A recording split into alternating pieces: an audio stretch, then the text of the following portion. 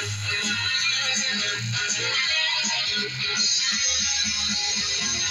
know that chick that used to dance a lot?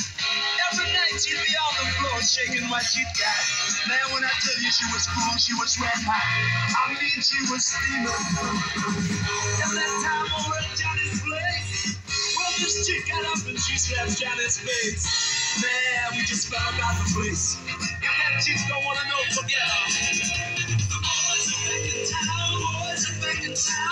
I said,